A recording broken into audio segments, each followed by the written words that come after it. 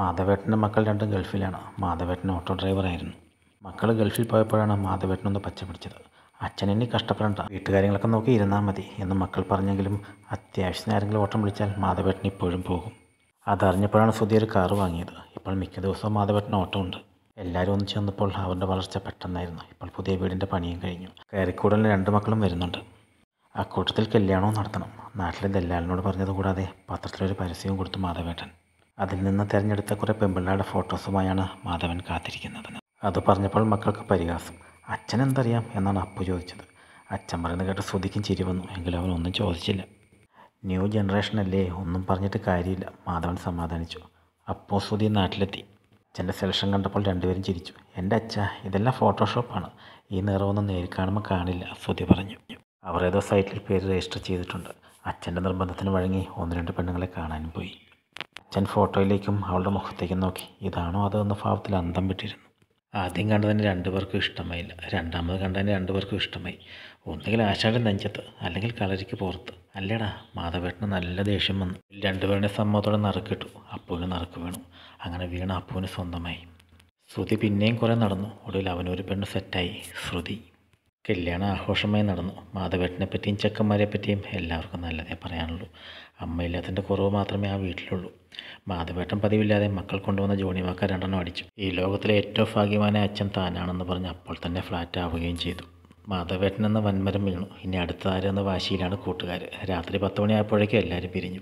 അച്ഛനെ എടുത്ത് അകത്ത് കിടത്തിയിട്ട് മക്കൾ പരസ്പരം നോക്കി. അതിരാത്രിയാണ് രാത്രിയാണ് വരാൻ പോകുന്നത്. രണ്ടുപേർക്കും ചെറിയ ടെൻഷനൊക്കെ ഉണ്ട്.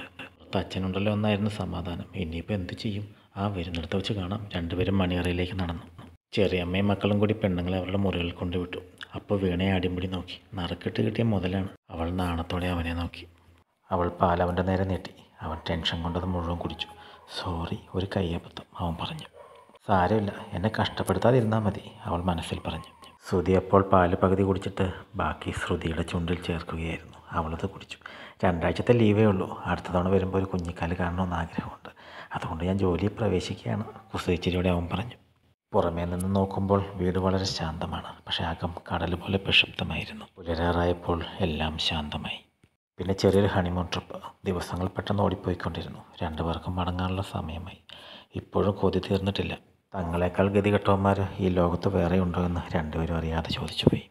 യാത്ര പറഞ്ഞപ്പോൾ രണ്ട് പെണ്ണുങ്ങളും കരഞ്ഞു. ചെക്കന്മാർ കരയാതെ കരഞ്ഞു. ദിവസങ്ങൾ കടന്നുപോയി. വീണയും ശ്രുതിയും ഭർത്തൃ വീട്ടിലും സ്വന്തം വീട്ടിലും മാറി മാറി നിന്നു. പുറത്തൊക്കെ തുള്ളിച്ചാടി നടക്കുമെങ്കിലും വീടിനുള്ളിൽ അവരുടെ ഏകാന്തത കാണുന്നത് മാധവേട്ടൻ മാത്രമാണ്. കുറച്ച് നാളത്തേക്കെങ്കിലും അവരെ അങ്ങോട്ടൊന്ന് കൊണ്ടുപോടാ. അവരുടെ ഇരിപ്പ് കണ്ടിട്ട് സഹിക്കുന്നില്ല മാധവേട്ടൻ മക്കളോട് പറഞ്ഞു. മക്കൾ പണത്തിന്റെ കണക്ക് പറഞ്ഞപ്പോൾ മാധവേട്ടൻ പറഞ്ഞു ജീവിക്കാൻ അത്യാവശ്യം പണം നല്ലൊരു വീട് കാർ ഇതൊക്കെ അല്ലായിരുന്നു നമ്മുടെ മോഹം. എല്ലാം ദൈവം നമുക്ക് തന്നു. ഇനി നിങ്ങളുടെ സന്തോഷമാണ് എനിക്ക് വലുത്. വിമാന ടിക്കറ്റ് മാധവേട്ടൻ തന്നെ എടുത്തു. അപ്പോഴാണ് കൊറോണയുടെ വരവ്. രാജ്യങ്ങൾ ഓരോന്നായി അടഞ്ഞു തുടങ്ങി ഒടുവിൽ ഇന്ത്യയും.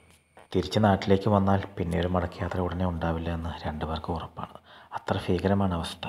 ചെലവ് കൂടി. കയ്യിലുള്ള പണം തീരാൻ അധികകാലമൊന്നും വേണ്ടിവരില്ല അവിടെ തന്നെ തുടരാൻ രണ്ടുപേരും തീരുമാനിച്ചു. ഇവിടെ മുഖത്ത് മാസ്ക് പ്രത്യക്ഷപ്പെടാൻ തുടങ്ങി. ദിവസങ്ങൾ കടന്നുപോയിക്കൊണ്ടിരുന്നു. മൂന്ന് മാസം കഴിഞ്ഞിട്ടും രണ്ടുപേർക്കും വിശേഷങ്ങളൊന്നുമില്ല. രണ്ടുപേർക്കും ആ പ്രതീക്ഷയും ഇല്ലാതായി. കല്യാണത്തിന്റെ ആവേശത്തെക്കാളുപരി അടുത്ത വരവിനൊരു കുട്ടിയെ കൊഞ്ചിക്കണമെന്ന മോഹം അപ്പുവിന് ശ്രുതിക്കും ഉണ്ടായിരുന്നു അവധിയുടെ അവസാന ദിവസങ്ങളിൽ വീണയ്ക്കും ശ്രുതിക്കും അത് മനസ്സിലാവുകയും ചെയ്തു. ഇത്തിരി കൂടുന്നുണ്ട് കേട്ടോ. നാണത്തോടെ ശ്രുതി പറഞ്ഞു. ഇതൊന്നും വെറുതെ അല്ല. അടുത്ത തവണ വരുമ്പോൾ കുഞ്ഞിനെ എന്റെ കയ്യിലേക്ക് വെച്ച് തന്നേക്കണം ശ്രുതി പറഞ്ഞു. അപ്പോൾ കുറച്ചുകൂടി പ്രാക്ടിക്കലായാണ് ചിന്തിച്ചത്. ഈ ആഴ്ച കറക്റ്റ് ടൈമാണ് അവൻ പറഞ്ഞു. അവൾ നാണത്തോടെ അവനെ നോക്കി. ഊണ് കഴിയുമ്പോൾ അവന്റെ ഒരു നോട്ടമുണ്ട്. അത് കാണുമ്പോഴേ അവൾക്ക് കാര്യം പിടികിട്ടും അത്താഴം കഴിഞ്ഞാൽ പിന്നെ പറയുകയും വേണ്ട. പക്ഷേ എല്ലാം വെറുതെയായി. ഒരു വർഷമാണ് ജീവിതത്തിൽ നിന്ന് നഷ്ടമാകുന്നത്. നാലു പേർക്കും നല്ല സങ്കടമുണ്ട്. പതിവ് പോലെ വൈകുന്നേരം കവലയിൽ നിന്ന് തിരിച്ച് വീട്ടിലേക്ക് നടന്നപ്പോഴാണ് മാധവേട്ടൻ ഒരു പിൻവിളി കേട്ടത്. മാധവേട്ടന് കോളടിച്ചല്ലോ പെമ്പിള്ളേർ രണ്ടെണ്ണമല്ലേ കൂടെ? മാധവൻ തിരിഞ്ഞു നോക്കി. ഇരുട്ടിൽ മുഖമൊന്നും വ്യക്തമല്ല. മൂന്നാൽ പേരുണ്ട്. മറുപടി പറയാൻ പോയ വഷളാകും. മാധവേട്ടൻ കേൾക്കാത്ത ഭാവത്തിൽ നടന്നു. പെട്ടെന്ന് ചെല്ല്. നോക്കി ഇരിപ്പുണ്ടാവും. പിന്നിൽ പൊട്ടിച്ചിരി മുഴങ്ങി. അതൊരു തുടക്കമായിരുന്നുവെന്ന് മാധവേട്ടൻ അറിഞ്ഞില്ല. രണ്ടുപേരെയും തിരിച്ച് അവരവരുടെ വീടുകളിലേക്ക് അയച്ചാലോ? മാധവേട്ടൻ ആലോചിച്ചു. വേണ്ട അങ്ങനെ ആരെയും പേടിച്ചൊളിച്ചോടേണ്ട കാര്യമില്ല. ഇങ്ങനെയൊരു വാർത്ത മക്കളുടെ അടുത്തെത്തിയാൽ എന്തായിരിക്കും അവസ്ഥ? മാധവേട്ടൻ അസ്വസ്ഥനായി. അപ്പു വിളിച്ചപ്പോൾ ഇന്നലെ ഉണ്ടായ സംഭവം അവനോട് പറയുകയും ചെയ്തു. അവൻ ചിരിച്ചതേ ഉള്ളൂ. ഇതൊക്കെ നമ്മൾ എത്ര കേട്ടിരിക്കുന്നു? ചിലർക്ക് അതൊരു രസമാണ്. അത് കാര്യമാക്കണ്ട അവൻ പറഞ്ഞു. എന്തായാലും ഞങ്ങൾ പെണ്ണുങ്ങളോടൊന്ന് സംസാരിക്കട്ടെ. ഇഷ്ടമുള്ളിടത്ത് നിൽക്കട്ടെ. ആരെയും പേടിക്കേണ്ട കാര്യമില്ലല്ലോ അവൻ പറഞ്ഞു. കേട്ടപ്പോൾ പെണ്ണുങ്ങൾ രണ്ടും പൊട്ടിച്ചിരിച്ചു. ഞങ്ങളെ കിട്ടാത്തതിന്റെ സങ്കടമായിരിക്കും വീണു പറഞ്ഞു. ശ്രുതി കുറച്ച് വിശദമായി മറുപടി പറഞ്ഞു. നിങ്ങളുടെ ഒരു കൂട്ടുകാരനില്ലേ മഹി? എന്താവശ്യമുണ്ടെങ്കിലും വിളിച്ചേക്കണമെന്ന് പ്രത്യേകം പറഞ്ഞിട്ടുണ്ട്. ഞങ്ങൾക്കിപ്പോൾ എന്താണ് ആവശ്യമെന്ന് പ്രത്യേകം പറയേണ്ട കാര്യമില്ലല്ലോ. മാധവേട്ടൻ ഇപ്പോൾ പരമാവധി ഒറ്റയ്ക്കിരിക്കാനാണ് ശ്രമിക്കുന്നത്. പരദൂഷണം കേട്ടതോടെ മനസ്സിനൊരു പേടി. അത്താഴം കഴിക്കാനിരുന്നപ്പോൾ വീണ പറഞ്ഞു. അച്ഛനിങ്ങനെ അകന്നമാറി നടക്കാനാണ് തീരുമാനമെങ്കിൽ ഞാൻ വീട്ടിൽ പോവാം ശ്രുതിയും അത് ഏറ്റുപിടിച്ചു. മാധവേട്ടൻ മറുപടിയൊന്നും പറഞ്ഞില്ല. വീണ അടുക്കളയിലേക്ക് പോയി. ശ്രുതി ഫിത്തിച്ചാരി ചാരി നിന്നു. ഇല്ലാത്തത് കേൾക്കുമ്പോഴുള്ള വിഷമം പറഞ്ഞറിയിക്കാൻ പറ്റില്ല മാധവേട്ടൻ പറഞ്ഞു. അച്ഛനറിയാത്ത ധാരാളം കാര്യങ്ങളുണ്ട്. ഇടയ്ക്കൊക്കെ അച്ഛന്റെ ക്ഷേമം അന്വേഷിക്കാൻ വരുന്ന ഒരു അനന്തരവനില്ലേ? രഘു കഴിഞ്ഞ തവണ വന്നപ്പോൾ അവൻ എന്നോട് ചോദിച്ച എന്താണെന്ന് അച്ഛൻ അറിയാമോ? മാധവേട്ടൻ ഞെട്ടുന്നത് അവൾ കണ്ടു. എല്ലാവരും ഞങ്ങളെ സഹായിക്കാൻ വെമ്പി നിൽക്കുകയാണ് അത് കേട്ടുകൊണ്ടുവന്ന് വീണ് പറഞ്ഞു. അച്ഛൻ വിഷമിക്കണ്ട. ഇവിടെ മാത്രമല്ല ഞങ്ങളുടെ വീട്ടിൽ പോയി നിന്നാലും ഇത് തന്നെയാണ് അവസ്ഥ ശ്രുതി പറഞ്ഞു. ഇനി എത്ര കാലം കഴിഞ്ഞാണ് ഭർത്താക്കന്മാരെ കാണാൻ പറ്റുകയെന്ന് അറിയില്ല. അതുവരെ ഞങ്ങളിങ്ങനെ ചെയ്യാത്ത കുറ്റത്തിന് പഴി കേട്ട് നടന്നോളാം വീണ പറഞ്ഞു. മാധവേട്ടൻ ഉറക്കമില്ലാതെ കിടന്നു. തൊട്ടടുത്ത മുറികളിൽ ഉറക്കമില്ലാത്ത രണ്ടുപേർ കൂടി ഉണ്ടെന്ന് മാധവേട്ടൻ അറിയാം വെറുതെ പഴി കേൾക്കുന്ന എന്തിനാണ് മാധവേട്ടൻ വാതിൽ തുറന്നു? ശ്രുതിയുടെ വാതിൽ തുറന്നാണ് കിടക്കുന്നത്. കാൽപ്പെരുമാറ്റം കേട്ടപ്പോഴേ അവൾ കണ്ണു തുറന്നു. ബെഡ് ലാമ്പിന്റെ വെളിച്ചത്തിൽ അവളെ കാണാം. നൈറ്റിയാണ് വേഷം. അവൾ കിടക്കയിൽ നിന്ന് എഴുന്നേറ്റില്ല. അവളുടെ രഹസ്യങ്ങൾ സ്വന്തമാക്കുമ്പോൾ അവൾ മന്ത്രിച്ചു. തെറ്റും ശരിയും നമ്മളാണ് തീരുമാനിക്കുന്നത്. ജീവിതം ഒന്നല്ലേ ഉള്ളൂ. ചിലപ്പോൾ ചില തെറ്റുകൾ ശരികളാകും. അവൾ സംതൃപ്തിയോടെ നോക്കിയപ്പോൾ അയാൾ മടങ്ങി. വാതിൽ തുറന്നപ്പോൾ വീണയുടെ തിളങ്ങുന്ന കണ്ണുകൾ അയാൾ കണ്ടു. രാവിലെ വീണ പറഞ്ഞു. ഇന്നല്ലെങ്കിൽ നാളെ ഏതെങ്കിലും ഒരാളുടെ മുൻപിൽ തോറ്റു കൊടുക്കേണ്ടി വരുമെന്നാണ് കരുതിയത്. ഇപ്പോൾ ആ പേടിയില്ല.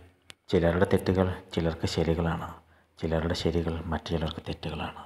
എല്ലാം കാലം തെളിയിക്കും. മാധവേട്ടൻ മന്ത്രിച്ചു.